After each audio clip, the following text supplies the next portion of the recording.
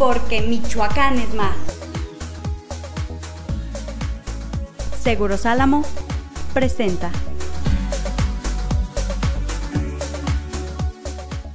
El escultor y pintor moreliano Juan Torres, asombrado y agradecido con el Cabildo Moreliano por haberle otorgado la presea Generalísimo Morelos, comentó que fue una grata sorpresa para él que no esperaba.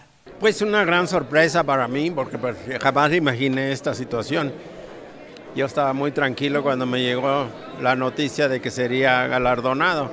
Y pues claro que es una, una sorpresa agradable, ¿no? Pedro Delgadillo, director de operación del Centro Cultural y de Convenciones Tres Marías, considera que Juan Torres es una persona que merece el galardón debido a la destacada trayectoria como artista plástico. Nosotros conocemos de su trayectoria, sabemos que desde que estaba como alumno del maestro Alfredo Salce tiene una trayectoria muy, muy sólida en, cuanto a la plástica, no solamente la pintura, sino también es escultor. Delgadillo Cuevas hizo la propuesta al Cabildo de Morelia.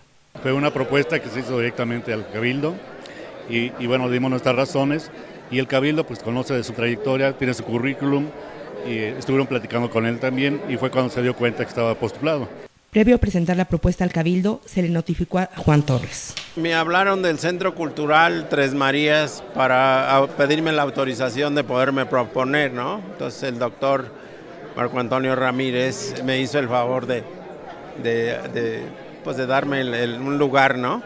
Y solicitar para mí eh, tal distinción. Juan Torres es un hombre sencillo, con visión y pasión, quien vive en la tenencia de Capula, donde radica y elabora Catrinas de Barro, y donde día a día trasciende su obra, afirmó la regidora Leticia Farfán. Con información de Andrea Fernández, informa Cuasar TV.